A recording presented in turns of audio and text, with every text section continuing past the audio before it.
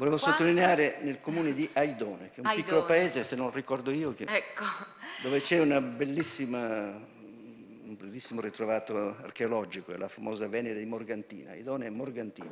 Faccio un po' di pubblicità turistica. va bene.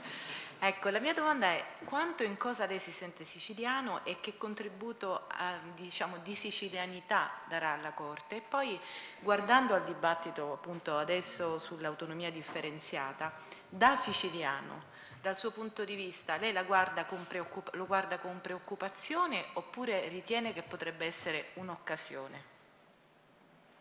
Ma dunque, io sono nato eh, in provincia di Enna, sono cresciuto a Catania, ma abito dal 1970 in Emilia.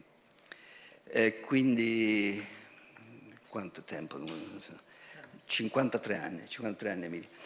Devo dire che ho preso più per quanto riguarda la politica dall'Emilia Romagna che non dalla Sicilia, ahimè.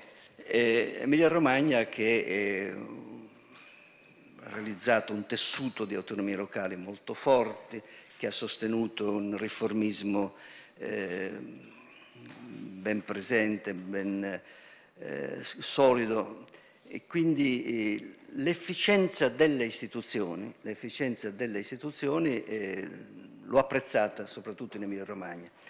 Non posso dire altrettanto per la mia, per la mia Sicilia, dove tuttora c'è il voto segreto nelle votazioni, dove c'è, c'è un premio di maggioranza un po' sbilenco, eccetera. E il, per quanto riguarda il, lei diceva, si riferiva al, all'autonomia differenziata.